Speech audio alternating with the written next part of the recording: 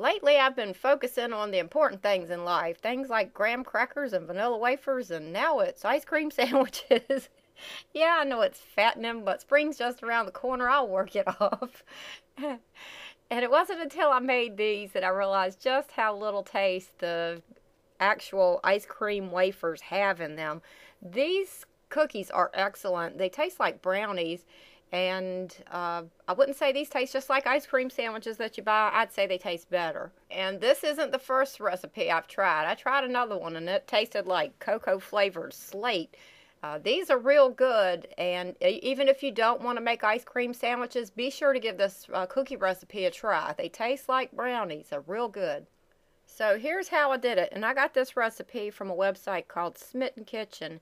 And I only used half a recipe and it made 11 ice cream sandwiches. And I can't imagine anybody would want to make more than that at one time. So I'm going to put the ingredients for half a recipe in the description box. The first thing I did was creamed a stick of butter and 3 quarters cups of sugar. Then I added one egg and half a teaspoon of vanilla and mix that together thoroughly. Then I added a third cup of cocoa and mixed that all in well. In another bowl, I mixed together one and a half cups of white lily all-purpose flour, an eighth a teaspoon of salt, a quarter teaspoon of baking powder. And I mixed that all together thoroughly. Then I added the dry mixture into the wet mixture a little at a time and mixed it up thoroughly. And some of the comments on this recipe on that website said they had problems with the dough turning out too dry and it wouldn't pull together. But it turned out fine for me, and a lot of other people said it turned out fine for them. So if it turns out too dry for you, then add a little bit of milk.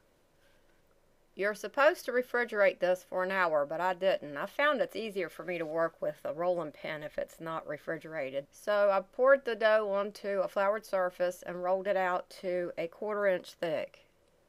Then I cut out the dough with a large biscuit cutter, and someone said that if you wanted a real crisp definition to your cutouts, to make sure that the dough was well refrigerated.